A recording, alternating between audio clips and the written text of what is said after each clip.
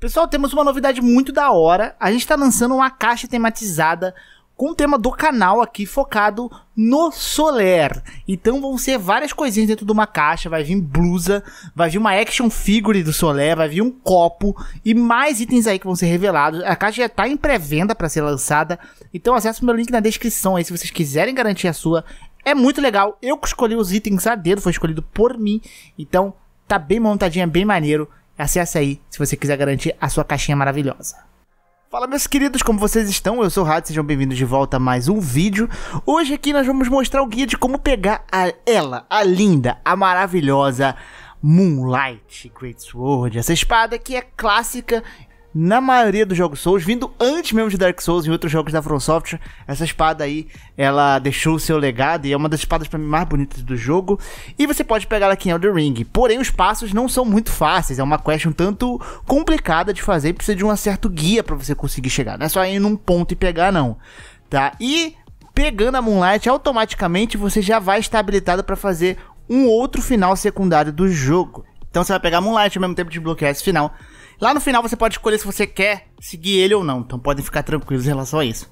Vambora então, porque tem bastante coisinha pra gente falar pra pegar o passo a passo, pegar essa arminha maravilhosa e no final a gente faz uma buildzinha dela também. Então, vambora pro vídeo. A primeira coisa que você precisa é ter o segundo mapa desbloqueado, que é o mapa de Liurnia, e você vai lá pro canto superior esquerdo do mapa, onde tá ali a mansão Cariana tá? Então lá é um pequeno mapa onde você vai explorar, vai ter uma boss fight e depois da boss fight vai ter uma saída ali onde você vai encontrar três torres. Uma das torres você pode subir e você vai encontrar a Honey, aquela bruxinha que você encontra lá no começo do jogo.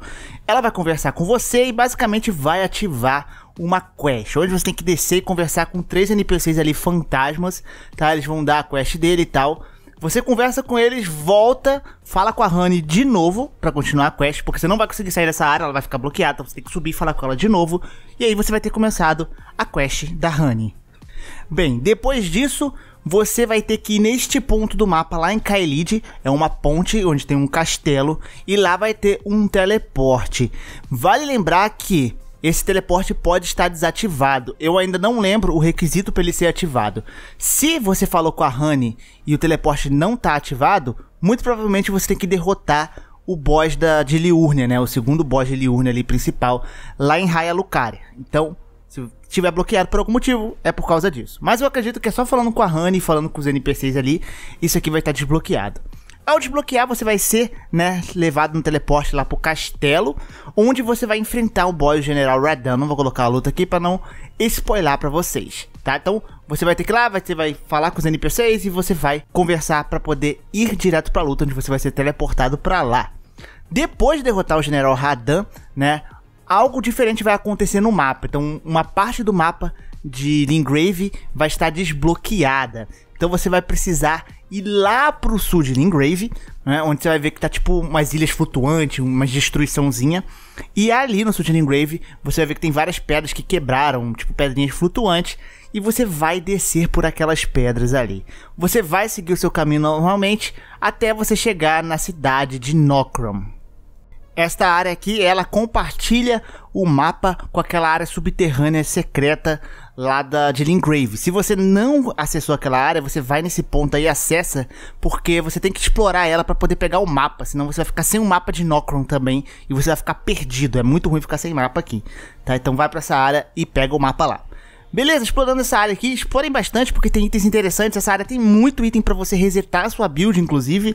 Então vai, segue em frente, onde você vai passar ali por uma pontezinha. Você vai chegar numa pontezinha e vai ter uma luta de boss ali. É uma luta de boss bem legalzinha essa aqui, tá? Não vou mostrar também para não spoiler. Ao derrotar esse boss, você vai ter a ponte liberada. Então você segue em direção à ponte, basicamente você vai direto para esta bonfire aí. Desta bonfire aí, você vai poder acessar a cidade pelos telhados. Então você vai subir pelos telhados e você vai descendo ali, você vai explorando, você vai descendo até você conseguir chegar na outra bonfire que tá lá embaixo. Essa bonfire basta você seguir retão mesmo e você vai chegar ali numa espécie de capela ou algo do tipo, onde vai ter um baú. Então você vai, pega esse baú, esse baú vai dar um item que é para quest da bruxinha, para quest da Honey. Voltando lá então, né, na mesma torre que você falou com ela, conversa com ela novamente e ela vai te dar um item que é uma ampulheta, onde você vai precisar usar e ativar na torre do mapa de Liurnia. Para você acessar essa torre, você tem que ter derrotado a Renala, que é a chefe dessa a chefe principal desta área aqui de Liurnia que fica lá em Lucaria. Então aqui já você tem que ter matado ela. E aí você vai acessar a torre, logo quando você entrar na torre vai ter um altarzinho, então você pode colocar o item nesse altar, que foi que a bruxinha te deu, e ali vai acontecer uma cutscene dentro da torre, onde você vai avançar pela torre explorando, até você chegar no final dela, onde você vai pegar mais um item importante em questão. Então você vai pegar esse item chamado Marca da Morte. Volte para a torre lá da Honey e você vai perceber que ela não está mais lá. Vai ter uma bonfire agora no local. Então você vai precisar agora acessar a torre ao lado aí no mapa. Ela estava bloqueada antes. Você agora vai poder acessar e subindo lá no topo da torre, você vai encontrar um teleporte onde você vai ser teleportado para uma área nova dentro do jogo. Essa área é o rio Ansel. Porém, essa área aqui também você pode acessar outra parte dela previamente e pegar o mapa dela, o que eu recomendo você fazer, senão você vai ficar sem o mapa. Ele fica neste ponto aí de Liurnia, onde você desce e você acessa essa área né, e você pega um mapa lá dentro. Tem boss, tem tudo, eu recomendo explorar normal. Voltando para essa parte, mais em frente, tu já vai encontrar a boneca da Honey, uma bonequinha dela, né, uma versão bonequinha. E essa boneca tem um fator interessante. Você vai sentar numa bonfire deste local, se for bonfire de outro local não vai funcionar, tem que ser desse mapa. Se na primeira não funcionar, na próxima bonfire que você encontrar desse mapa, você senta no local de graça ali. E você vai ter a opção de falar com a boneca. Você ativa essa opção umas 3, 4 vezes, que aí a boneca vai começar a falar com você. Ela vai contar um pouco sobre a história do jogo, vai falar algumas coisas interessantes ali para você, sobre os lords e etc. E vai pedir para você derrotar uma das sombras. Essa sombra fica bem ali no mapa mesmo, um pouquinho antes de você chegar na área do pântano vermelho. Provavelmente você não desbloqueou a área do pântano vermelho, talvez, mas bem ali naquela entradinha você vai onde você vai ser invadido por um desses NPCs ali e você precisa matá-lo. Então, derrotando ele, você vai progredir a mais na quest dela. Ao derrotar então esse NPC, você conversa com a Honey, que ela vai te dar uma chave. Essa chave vai ser importante, então você vai seguir em frente nesse mapa, onde você vai acessar aquele lago vermelho. E lá no final, nesse ponto aí do mapa, você vai encontrar um caixão. Entra nesse caixão, óbvio. A primeira coisa que você tem que fazer quando você vê um caixão abandonado, você entra nele, é isso. E você vai ser teleportado lá para baixo do mapa, onde você vai ter mais uma boss fight interessante. Essa boss fight vai ser um pouquinho difícil, dependendo do nível que você esteja. Terminando essa boss fight, atrás dela a parede vai estar bloqueada, tá? Porém, você vai usar essa chave. Você vai precisar dessa chave para ir lá na biblioteca, na arena ali na área, né? Depois de você derrotar o segundo boss, onde atrás daquele segundo boss tem um baú que estava bloqueado desde então. Porém, com essa chave agora vai ser possível abrir esse baú, onde você vai pegar um anel. Pegando esse anel, você vai retornar novamente para a arena que esse boss que você derrotou e você vai poder atravessar a parede que até então estava bloqueada por uma barreira azul. Dessa forma você vai conseguir pegar um elevador que vai te dar numa parte lá de cima, na parte de Niurnia, que antes era inacessível, não tem como chegar lá a cavalo de forma nenhuma, apenas usando esse elevador. Assim, você vai precisar ir para a Catedral Manos Ceres, que é essa que fica aí em cima do mapa, no topo, e lá vai ter um buraco onde você pode entrar e tal. Lá você vai conversar com a Honey, você vai colocar o anel no dedo dela. Isso vai possibilitar você ativar um dos finais do jogo. E quando ela sair dali, né? Ela simplesmente vai evaporar, ela vai sair dali. No local dela vai estar a linda e maravilhosa Moonlight. Pois é, maravilha de viver essa espadinha, né?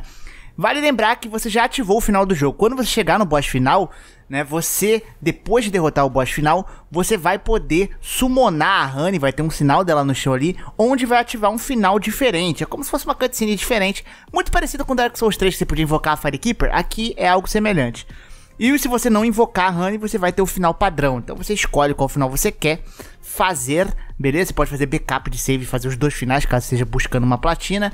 Já sabe como é que funciona, eu acho, mas depois a gente faz um guia sobre isso.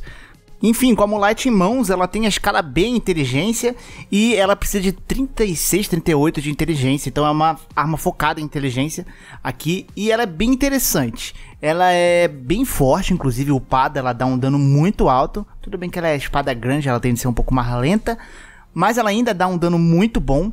E ela tem o diferencial de que ela dá sono nos inimigos, aplica sono, e também ela tem uma skill que bufa a arma. Usando essa skill que bufa a arma, é, a arma fica totalmente azul ali, com efeitos de gelo. E no ataque forte, quando essa arma tá bufada, ela faz aqueles ataques clássicos lá, tipo, de rajada de magia que ela vai soltando. O legal é que você pode ficar spamando isso e ele não gasta sua barra de mana, por exemplo. Porém, esse efeito não dura para sempre, acho que dura um minuto, mais ou menos, aí você tem que bufar a arma de novo, que vai gastar bastante FP. Mas você vai ser mago, provavelmente, usando essa espada, então você vai ter uma barra de mana interessante, né, e curas para mana interessante. Mas é uma arma muito interessante, linda, como toda Moonlight, maravilhosa, uma das Moonlights mais bonitas aqui. Só perde pra do Bloodborne, que a do Bloodborne é maravilhosa, mas é muito linda essa Moonlight. E vale muito a pena se você tem build de inteligência pegar essa arma, porque ela é uma das melhores aí, sem sombra de dúvidas. E esse aqui é o vídeo, espero que vocês tenham gostado. Se gostaram, não esqueça de seu like e se inscrever no canal. Muito obrigado pela visualização, um grande beijo, um grande abraço. Eu fico por aqui, um beijo no popô e fui!